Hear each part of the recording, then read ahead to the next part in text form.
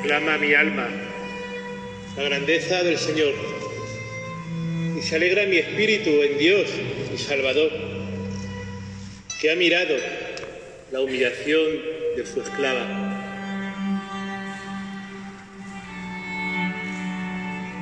Desde ahora me felicitarán todas las generaciones porque el poderoso ha hecho obras grandes por mí.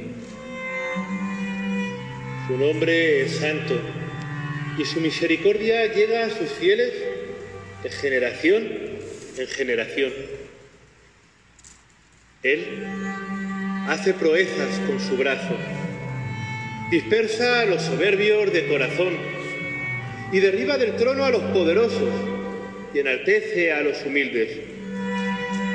A los hambrientos los colma de bienes y a los ricos los despide de vacío.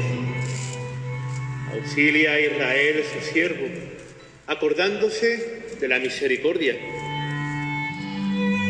acordándose de su santa alianza, como lo había prometido a nuestros padres, en favor de Abraham y de su descendencia por siempre.